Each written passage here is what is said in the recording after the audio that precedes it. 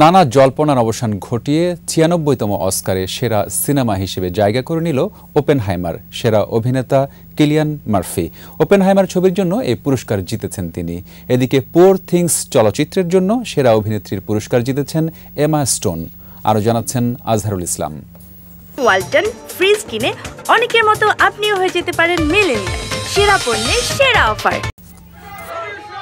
অস্কারকে কেন্দ্র করে যুক্তরাষ্ট্রের ক্যালিফোর্নিয়ায় লস অ্যাঞ্জেলসের হলিউড অ্যান্ড হাইল্যান্ড সেন্টারের ডলবি থিয়েটারে যেন তারার মেলা। ওয়াল্ট ডিজনি কোম্পানির মালিকানাধীন এবিসি টেলিভিশন নেটওয়ার্ক বাংলাদেশ সহ দুশোটিরও বেশি দেশে সরাসরি সম্প্রচার করে অনুষ্ঠানটি।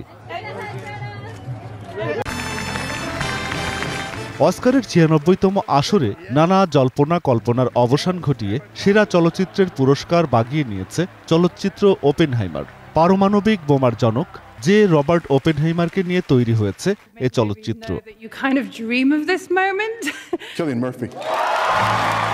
একই চলচ্চিত্রে অভিনয়ের জন্য সেরা অভিনেতার পুরস্কার উঠেছে কিলিয়ান মার্ফির হাতে।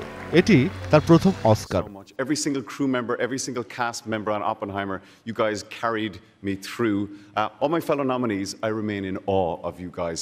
অস্কারের ছিয়ানব্বইতম আসরে সবার ওপরে পারমাণবিক বোমা আবিষ্কারকের বায়োপিক ওপেনহাইমার সেরা চলচ্চিত্র সেরা পরিচালক সেরা অভিনেতা ও সেরা পার্শ্ব অভিনেতা সহ সাতটি বিভাগে পুরস্কার জিতেছে এ ছবি And the Oscar goes to Emma Stone. আসরের সেরা অভিনেত্রীর পুরস্কার উঠেছে এমা স্টোনের হাতে পোর থিংস ছবির জন্য এ পুরস্কার জিতেছেন তিনি I think it happened during I'm Just Ken. I'm pretty sure.